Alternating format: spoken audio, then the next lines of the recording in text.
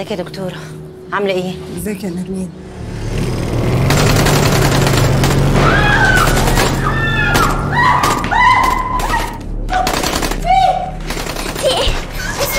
مفيش حاجة يا حبيبتي مفيش حاجة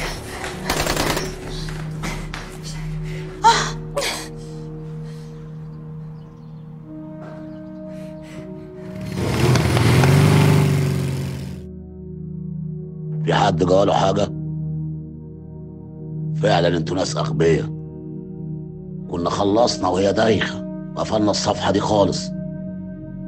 اسمعوني الدنيا كده هتتقلب أكتر ما هي مقلوبة. لازم نصحى كويس قوي هدوا اللعب خالص.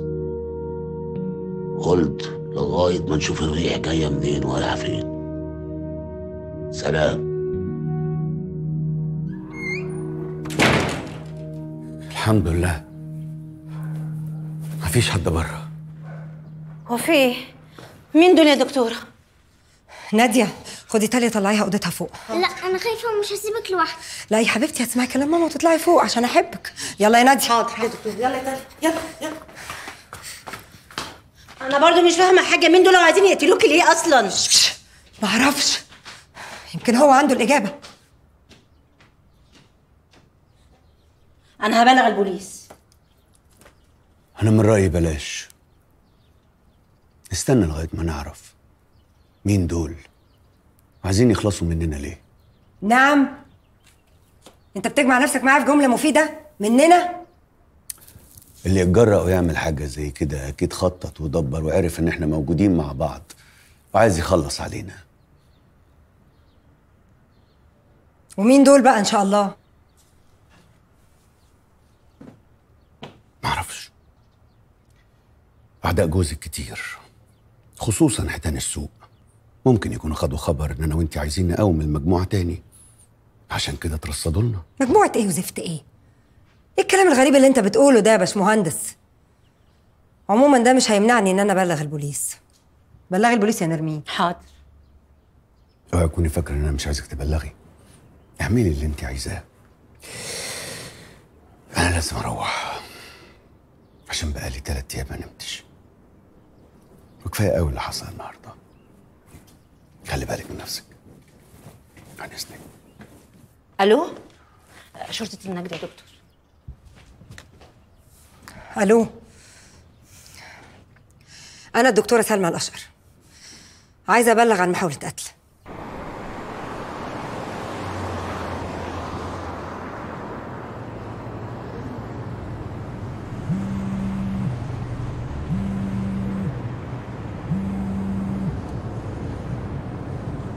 يا حاج الحمد لله على كل شيء. لا تعبت شوية. الموضوع كان صعب. وفاة شيرين أثر فيا جدا. عشان كده مش هقدر أنزل الشغل. الحمد لله. ما أعرفش بقى في موضوع الشركة الجديدة ده إيه حكايته؟ دخلت في مواضيع أنا ماليش فيها أصلا. ماشي حبيبي لما أفضى هقول لك وهكلمك. سلام يا ستي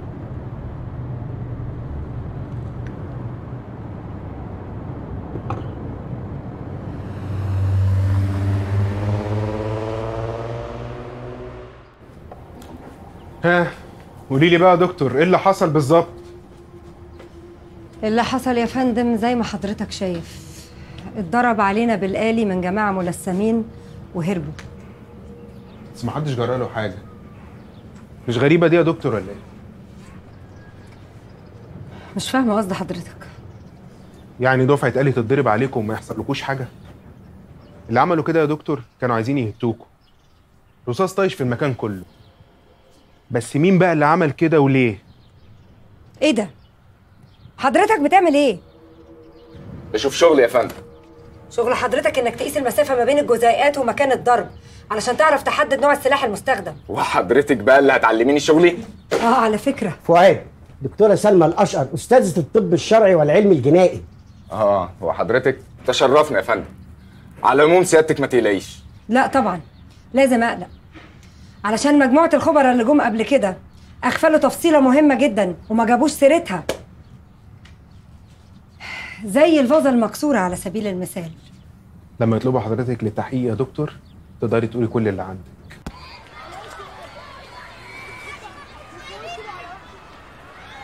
طيب سلام دلوقتي.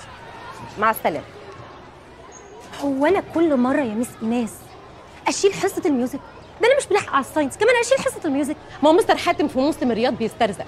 وسايب الحصص بتاعته. يا حبيبتي okay انت تستحمليه. هو مغرقك عبايات وبخور وجلاليب. إنما أنا أستحمله ليه؟ بس خلاص أنا أدخل الحصة بتاعته. ولما بقى يجي بقى مستر حاتم هبقى أقول له يجيب معاه جلاليب وبخور ليك. لا يا حبيبتي كفاية عليكي. انت الجلاليب والبخور والعبايات. it's not my style عيني فيه وبقول لك خير بس يلاقي مقاسك.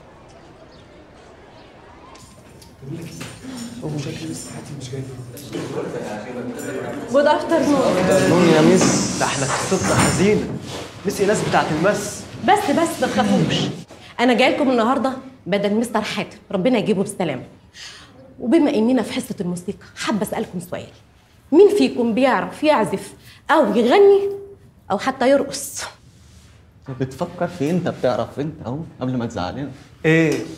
ترقص لنا؟ بس. على فكرة يا ميس جيكا صوته حلو قوي وبيعزف كمان. اطلع يا جيكا سمعنا تحية لجيكا يا جماعة.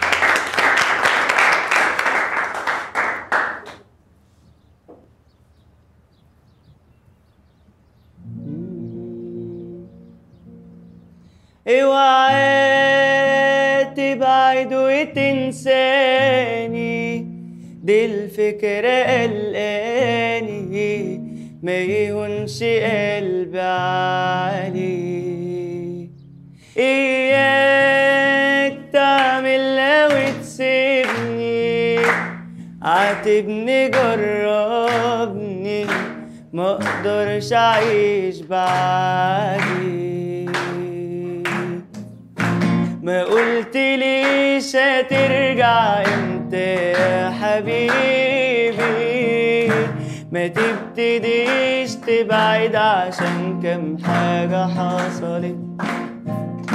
يا مين يعيش وبكرة تعرف يا حبيبي. مشاعري ليك حبيبي عمري في يوم ما بعدت. اوعى تبعد وتنساني. الفكرة قلقاني ما يهونش قلبي عليك. إياك تعملها وتسيبني عاتبني جربني ما أقدرش أعيش